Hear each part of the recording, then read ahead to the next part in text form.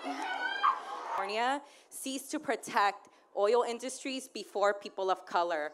Today in California, we can see the wildfires happening just around the corner.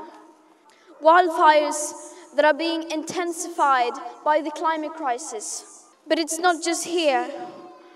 Everywhere around the world, we can see these horrible environmental feedbacks that countless of people are suffering and dying from.